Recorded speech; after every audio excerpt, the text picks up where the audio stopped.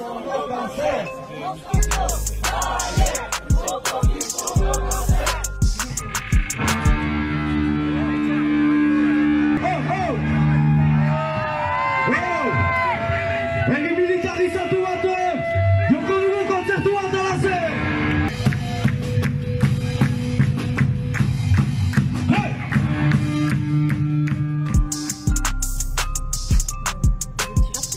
C'est ça, tu vois, t'as un mec derrière qui a une matraque et la, la moto va à donf et il chope tout ce qui bouge avec la matraque.